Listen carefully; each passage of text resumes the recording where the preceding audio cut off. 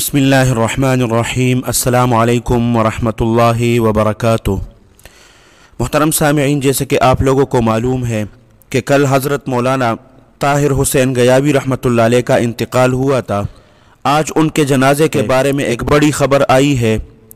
وہ آپ لوگوں کے ساتھ شیئر کرتے ہیں۔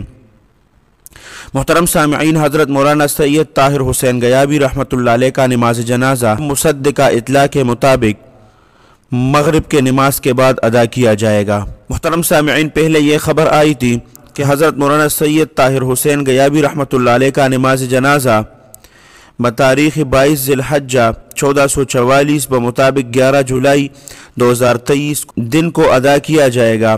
لیکن بعد میں یہ خبر آئی کہ ان کا نماز جنازہ انشاءاللہ بائیس ذی الحجہ چودہ سو چوالیس بمطابق گیارہ جولائی دو ہزار تیئیس بعد نماز مغرب ادا کیا جائے گا۔